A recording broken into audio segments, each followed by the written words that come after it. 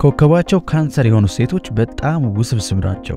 የካንሰር ሴት ማለት የትውልድ ቀናቸው ከሰኔ 13 እስከ ሐምሌ 12 የተወለዱ ሰዎች ኮከብ ማለት ነው። ማንም ሰው ስለዚህ ሴት ለመፍረድ ጊዜ ያስፈልገዋል። በዚህ ቪዲዮ ስለዚህ ሴት ማንነት፣ የምትወድ የምትጠላው ነገር፣ ስለ ፍቅር ባህሪዋ፣ ጓደኝነቷ፣ ስለ መክሊቷ፣ ስለ ገንዘብ አያያዟና ስለሚስማማት አለባበስ ወይም ፋሽን በደንብ ነግራችኋለሁ። ከእናንተ የሚጠበቀው ኢትዮ ትሩዝን subscribe ና like በማድረግ ህይወትን ቀለል የሚያደርጉ ድንቅ መረጃዎችን መኮምኮም ብቻ ነው። ፍቅር፣ በረከት፣ ጤናና ስኬት በያላችሁበት ይሁን። ይህ ኢትዮ ትሩዝ ነው።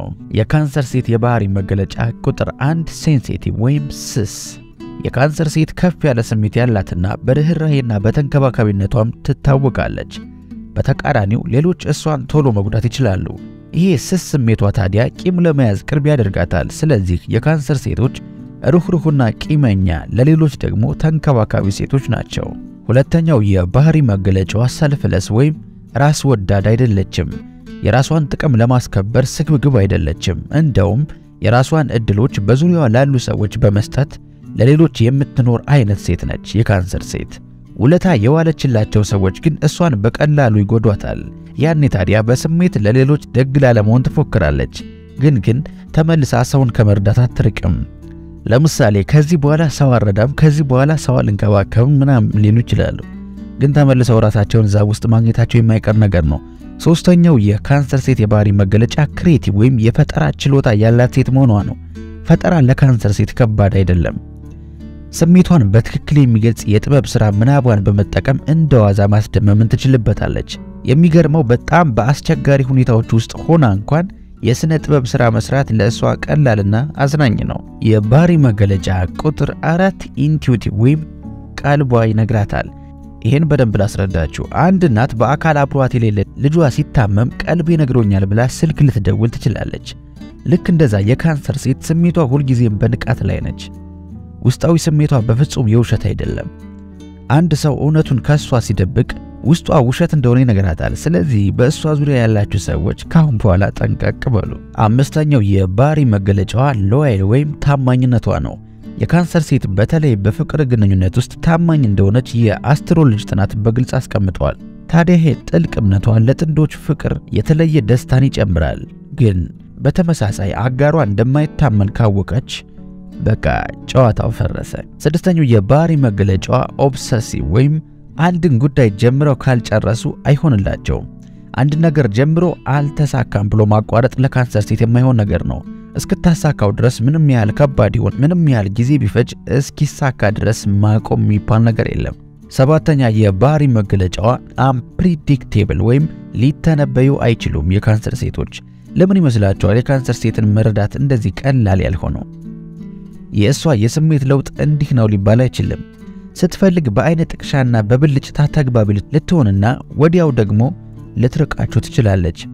ይህ ስሜት መለዋወጥ ታዲያ ከስሱነቷ የመነጨ ተፈጥሯዊ ባህሪዋ ነው። አሁን ደግሞ የካንሰር ሴት የምትወድና የምትጠላውን ነገሮች ልንገራችሁ። ከዛ በፊት ግን እስካሁን ይህን ቪዲዮ like ካላደረጋችሁ like አድርጉትና ለሌሎች የካንሰር ሰዎች ይድረስ። የካንሰር ሴቶች በተፈጥሯቸው ተንከባካቢ ናቸው። የራሳቸው ልጆች ቢኖሯቸውም ባይኖራቸውም ለልጆች የተለየ ፍቅርና ቦታ ይሰጣሉ። እነዚህ ሴቶች በተፈጥሮ ሰጪ ስለሆኑ ቤታቸው ልጅ ካለ ሙሉ ቤቱን ለሕፃናቱ ምቹ አድርገው የሕፃናት ማቆያ ቢያስመስሉት ምንም አያስገርምም። ታሪክ ወይም ያለፈ ነገርን ማጥናትና ማወቅን ይወዳሉ። ይህች ሴት የተመቻቸ ኑሮን ስለምትፈልግ ገንዘብን አጥብቃ የምትፈልገው ነገር ነው። positive vibe ወይም ቀና ስሜት ያለበት ቦታ መገኘት ሌላው የደስታዋ ምንጭ ነው። በተቃራኒው ምቾት የማይሰጣት አካባቢ መቆየትን አጥብቃ ትጠላለች። አሁን ደግሞ የካንሰር ሴትና የፍቅር ግንኙነት ምን እንደሚመስሉ እናያለን። ከጅምሩ ይህች ሴት በባህላዊ መንገድ የምትታወቅ ሴት ናት። ወደ ፍቅር ስንመጣ ፍቅርን ትወዳለች፣ ትደሰትበታለችም። የካንሰር ሴት በፍቅር ስትወድቅ ትዕግስትና ደግነት ሊርቋት ይችላሉ። በተለይ የመጀመሪያዎቹ ሰሞን ላይ የካንሰር ሴት ጀብደኛ ናት። ለአጋሯ ተንከባካቢነቷን ለማሳየት ሳታውቀው ብዙ ነገር ልታደርግ ትችላለች። ለምትወዳቸው ዘመዶቿ ውለታ መዋል ትወዳለች። ምንም እንኳን የዘፈቀደ ስሜቷ ቢለዋወጥም በዚህ ጊዜ አብሯት ለሚሆን ሰው የተለየ አድናቆት አላት። ማለትም ስሜቷ ከፍና ዝቅ ሲል አብሯት ለሚቆይ ሰው ማለት ነው። የዚህችን ሴት የፍቅር ባህሪ በሌላ ቪዲዮ ብንመለስበት ይሻላል ሰፋ ስለሚል። አሁን ሙያና ገንዘብ ላይ የካንሰር ሴት እንዴት እንደሆነች እስኪ እንመልከት። የካንሰር ሴት የፈጠራ ችሎታዋ ጥሩ ሥራ ፈጣሪ ያደርጋታል። የሥራ አጋሮቿን በመንከባከብ እንደሱ የሚሆን የለም። በዛ ላይ የአስመሳይ ሰራተኞቹን ስሜት ቀድማ ትረዳለች።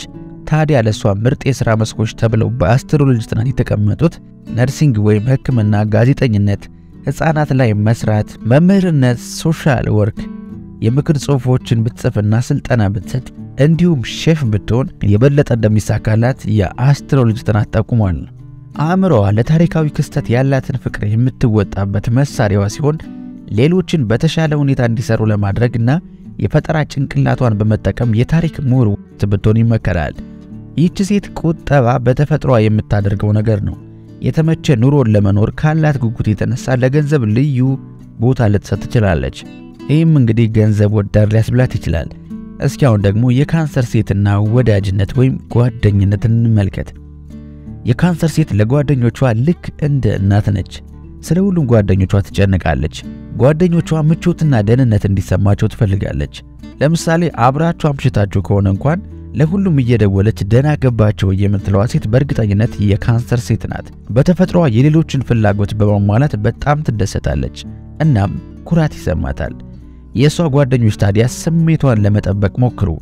እሷ በቀላሉ ትናደዳለች፣ ቂም መያዝም አመሏ ነው። ስለዚህ ይህን በማሰብ ለዚች የጓደኝነት ተምሳሌት ለሆነች ሴት ፍቅርና ክብርን እንድታሳዩ ጠይቃቸዋለሁ። አሁን ደግሞ የምናልፈው ዝነጣና ፋሽን ለካንሰር ሴት ወደሚል ርዕስ ነው። የካንሰር ሴት የፋሽን ምርጫዎቿ የበለጠ ባህላዊ አቀራረብን ትከተላለች። በአለባበስ ዙሪያ ወግ አጥባቂ አይነት ሴት ነች። የቀለም ምርጫዋ ብዙ ቢሆንም ፈዛዛ ሰማያዊ ቀለም ወግ አጥባቂነቷን ከፋሽን ጋር ያስማማላት ቀለም ነው። በቀጣይ የካንሰር ሴት በፍቅር ግንኙነት ላይ ያላትን ባህሪ በዝርዝር ራሱን ችሎ አንድ ቪዲዮ የሚሰራ ይሆናል። ከእናንተ የሚጠበቀው ኢትዮ ትሩዝን like and subscribe በማድረግ ቤተሰብ መሆን ብቻ ነው። ስለተመለከታችሁን ምስጋናችን ከልብ ነው። በቀጣይ በተሻለ ቪዲዮ እስከምንገናኝ ሰላማችሁ ብዝት እንዲል ተመኘሁ።